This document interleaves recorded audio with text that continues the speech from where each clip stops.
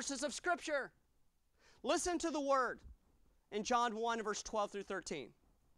It says, But as many as received him, to them gave he power to become the sons of God, even to them that believe on his name, look at this, which were born not of blood, born again, not of blood, not of heritage, nor of the will of the flesh, not of desire, a special desire that happened in you, nor of the will of man, not because other, one, other people wanted you to be saved, but of God. So it wasn't our will. Romans 9, 15 through 16 says it this way. We'll preach this chapter next in Romans 9. It says, For he saith to Moses, I will have mercy on whom I will have mercy, and I will have compassion on whom I will have compassion. So then it is not, verse 16 of Romans 9, so then it is not of him that willeth or of him that runneth, that means the guy who is coming after salvation, but of God that showeth mercy. God is extremely clear. We will have to distort his word not to believe it. We're also told our, our condition as aliens and enemies, and sheep going astray, and none that seeketh after God, and altogether become unprofitable, and none that doeth good. All of these point to the fact that way back before the world began, when God foreknew you by name to become the child of His grace, what He knew that caused Him to set in motion His great purpose to save you had nothing to do with who you were, what you wanted, or what you would do. It was all about Him. It was all about Him. However, what we do know is that your name was on his mind. This is often why I say that God's love is one sided.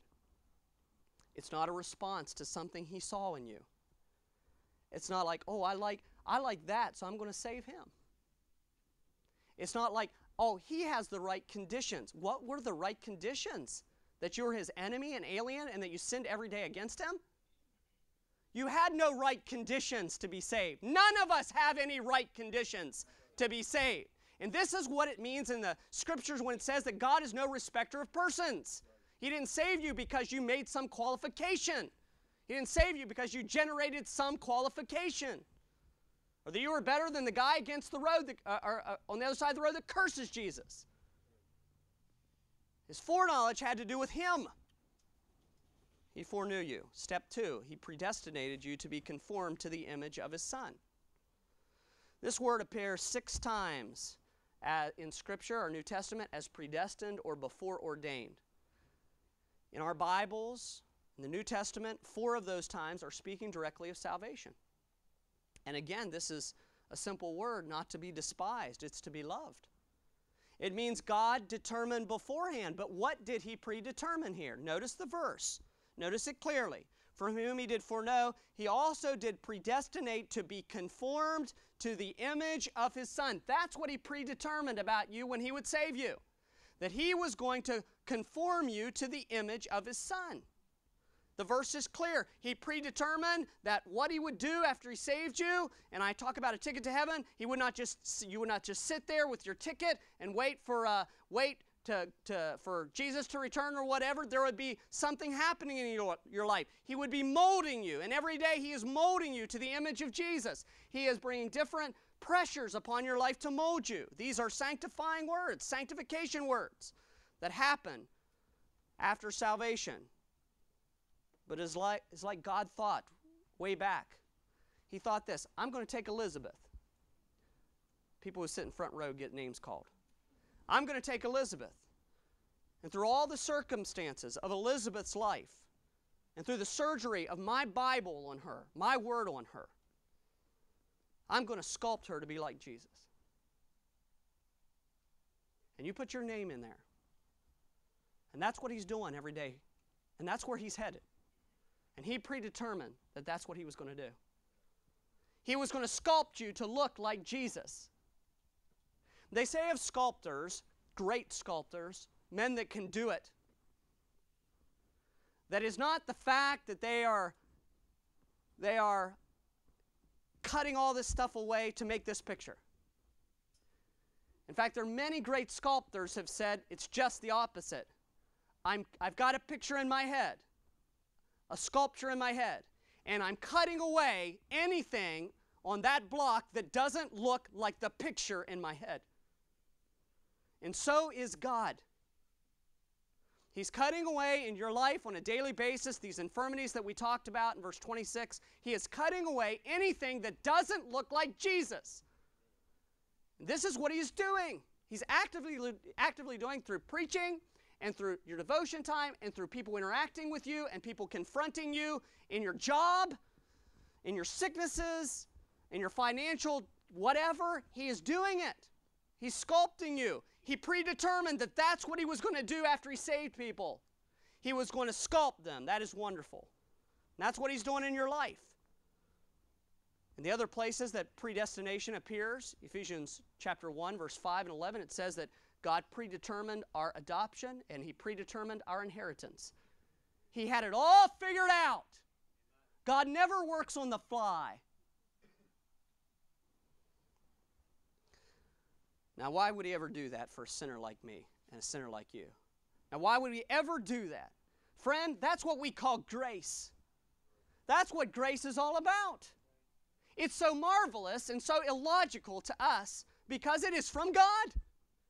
And it is grace, it is an opportunity for God to show His character.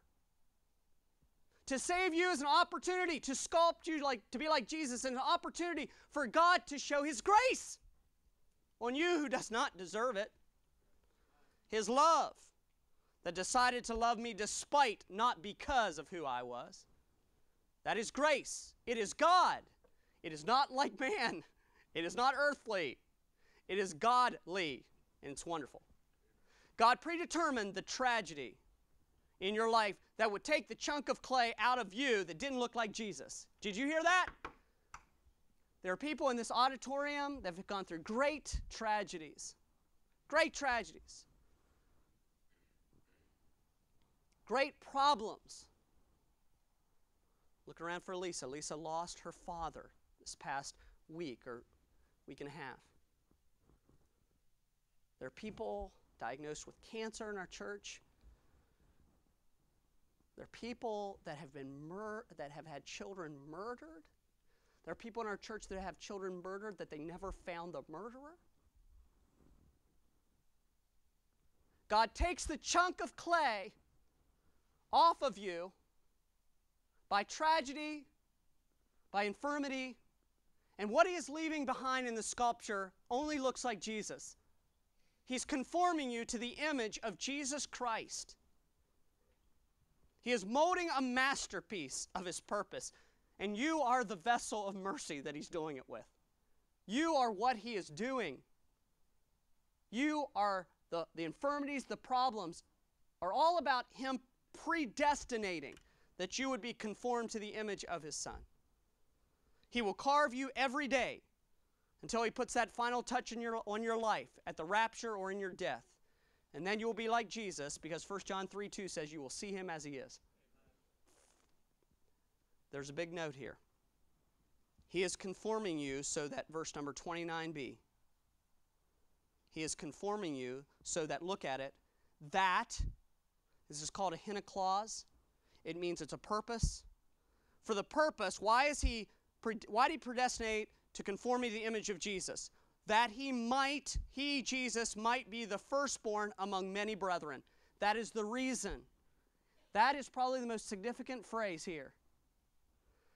The phone rang as I was studying this on my back porch this week. And it was my good friend Dale Gooding, who's a pastor down in South Carolina. And uh, I was studying, and I told him what I was studying. He says, You know, it's all about, that whole passage is about 29b, don't you? And I didn't want to seem dumb. So I said, Of course. Of course, yeah, uh, yeah, uh, yeah. Uh. And I thought in my mind, I'm going to get to that point. I'm going to be studying what, why. He says it's all, it all hinges there, Tobe. That's the key to the whole thing. I said, Oh, yeah, okay, yeah, well, yeah, anybody who really, this is exactly what I said. Oh, anybody who really comes to this passage with open eyes would know that. I actually said that as I studied out for the rest of the afternoon, I found out what he meant. He is conforming you so that the end of verse number 29, so that Jesus could be the firstborn among many brethren. Many brethren that will be perfect like him. He will be among them. He will be in the future among us. He will be in the future the firstborn among us. Location.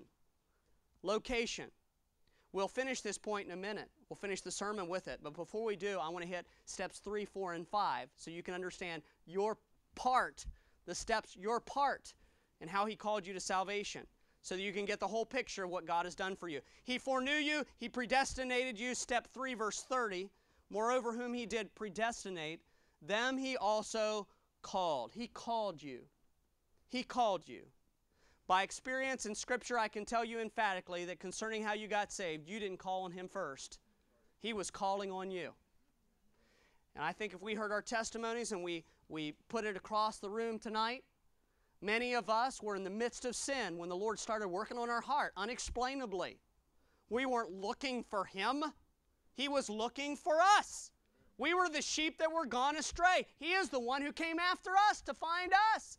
We were the one heading, we are heading the opposite direction of God. Each of the circumstances to your salvation are different in this room. All different testimonies, all apro- across the room. But each of us have a, has a story about how the Father drew us.